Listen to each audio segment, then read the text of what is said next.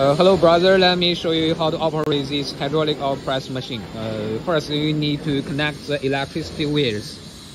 This is a three-phase version. Three-phase version you need to connect the ABC with three live wires and N for the zero wire. And then you need to connect the motor, open this cap and uh, connect the motor electricities. Three live wires. This one two three. This one don't connect this pole. Don't connect it.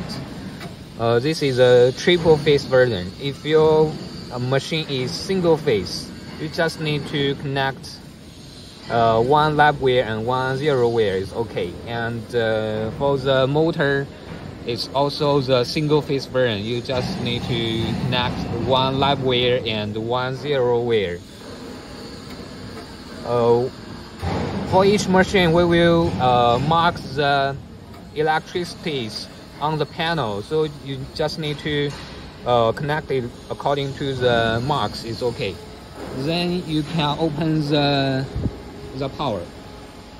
And uh, before you press the machine, you need to open this cap. And we offer you several this kind of plates you need to take two plates. Uh, put one here. And then pour into the oil seeds.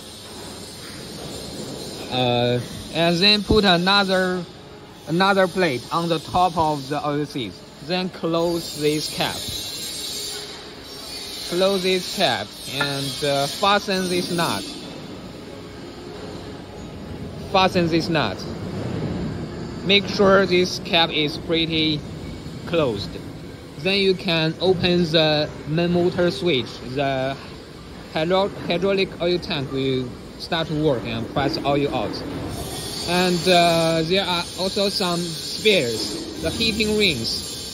You need to connect uh, electricity wire from here the heating rings. One live wire and one zero wire. Connect it uh, at here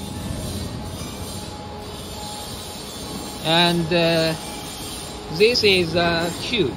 This tube is for connecting the hydraulic oil pump to the oil tank this tube.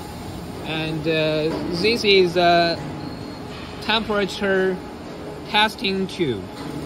Temperature electricity wire you need to connect it here uh, from here to to this part this part the red one, the blue one, from here to to here. Then it's okay. The all all the wires will be connected, and uh, make sure that uh, open this cap and pour the hydraulic oil uh, to fulfill the oil tank. Number 46 hydraulic oil and add it for about 50 liters. And the pressure meter, we normally you don't need to you don't need to adjust it. Uh, there's two needles. One is green needle, the other one is red needle.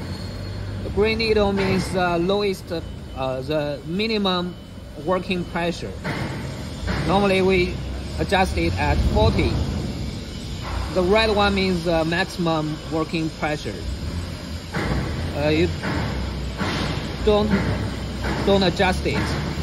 It's pretty safe. If you uh, make the red needle over 60 or at 60, the the hydraulic oil pump will get damaged.